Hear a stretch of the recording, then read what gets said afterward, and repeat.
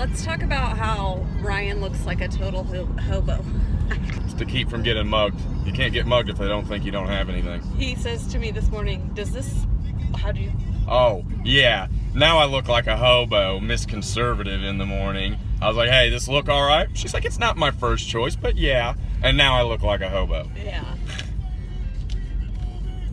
If you can't count on your family, to be honest with you, who can you count on? Because I guess the more I look at it, the more I think. You know, you just look at things like, no, I don't, I don't think so. Bye, Felicia.